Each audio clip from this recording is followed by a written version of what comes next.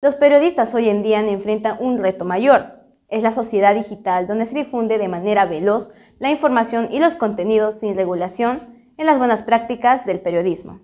Por eso Pilar Galvez, periodista y docente universitaria, nos va a compartir sus consejos para la formación de la ética periodística en nuestros estudiantes, a través del programa Responsabilidad Social realizado por la Universidad Jaime Bausati Mesa, como aporta al crecimiento profesional de nuestra comunidad.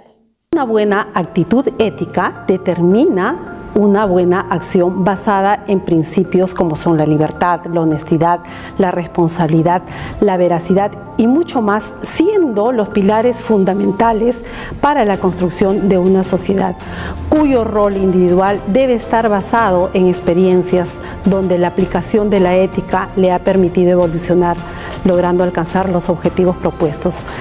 Respetando normas, respetando reglas establecidas y sobre todo adquiriendo valores universales para su vida y por ende para la sociedad.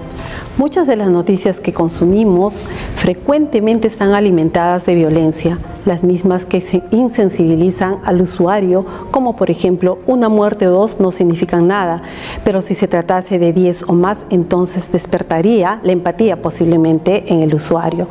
Esto al parecer es una estructura entablada por los medios de comunicación que muchas veces desestiman el interés público por contenidos que van a generar morbo y desinterés de su propia realidad. Por esta razón, muchos ciudadanos están desmotivados por los sucesos negativos y continuos que se desarrollan dentro de la sociedad, sin encontrar posiblemente esa ruta que los conduzca a tener un sentido más crítico y sobre todo humanístico. Por otro lado, el periodista hoy en día enfrenta un reto mucho mayor, debido a que formamos parte de la sociedad digital, donde las informaciones fluyen constantemente y de manera masiva con contenidos que no se ajustan muchas veces a la realidad. Nosotros como ciudadanos, bajo una sola convicción basada en ética y buenas prácticas, lograremos una sociedad menos devastada y sobre todo menos manipulable. Todo lo contrario, impulsada más bien para el logro de metas en común y exigiendo derechos bajo canales correctos, respetando leyes y normas a la vez.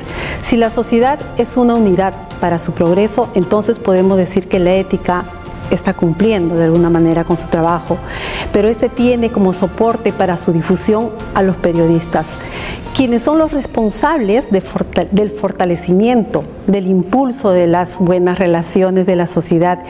Y este a la, a la vez podrá evolucionar solo si no se desprende y aprende a la vez de su historia, de su cultura, logrando el cimiento de la tolerancia y respeto de las diversas ideologías políticas, religiosas, grupos sociales, entre otros. ¿no?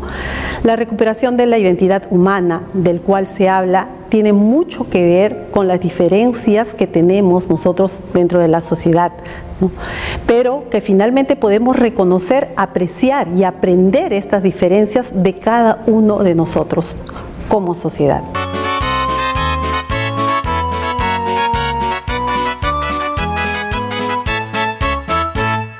Adelante